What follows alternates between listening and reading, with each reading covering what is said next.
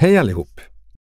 Vi ska visa hur du konfigurerar några specialprodukter eller produkter från andra tillverkare för Agardio Manager.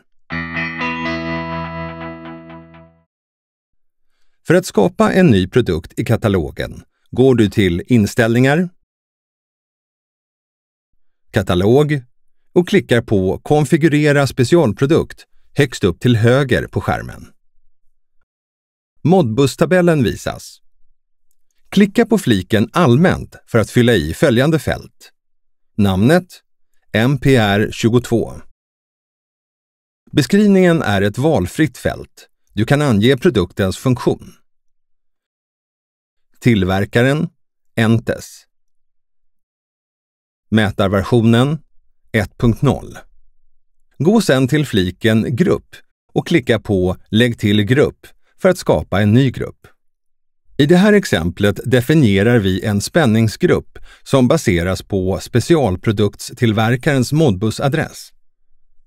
Denna spänning börjar med adressnummer 0, vars block utgörs av 14 ord. Klicka på Uppdatera för att uppdatera dessa nya adresser. Låt oss gå till nästa flik, Kanaler och tjänster. Här kan du välja vilka tjänster vi vill se. Gruppen vi skapade tidigare gör det möjligt att hämta värdena. Med kanalerna kan vi se vilka tjänster som finns tillgängliga. I det här exemplet kopplar vi den enskilda spänningen till kanal 0. För detta måste följande fält vara ifyllda.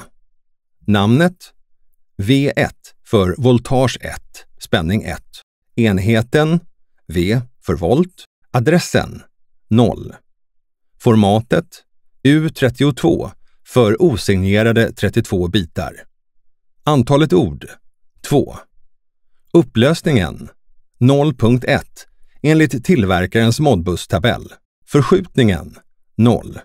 Sen lägger vi till en andra tjänst på samma sätt för att visa ett exempel med andra inställningar.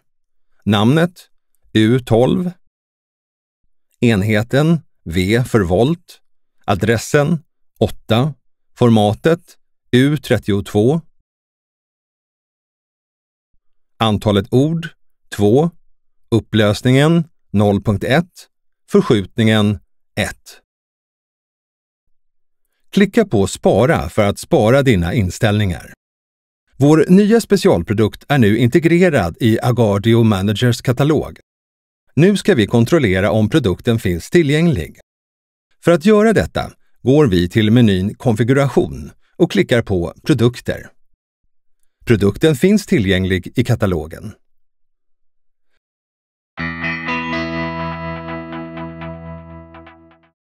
Första steget innan vi använder produkten är att kontrollera att de tjänster vi konfigurerade tidigare har sparats. För att göra detta klickar du på produkten och kryssar i rutan Lagring. Klicka sedan på Nästa för att gå till den allmänna och tekniska informationen. Namnet Heating, värme. Modbusadressen 1. Inställningarna för överföringshastighet. Klicka på Spara. Den nya produkten är nu ansluten till Agardio Manager.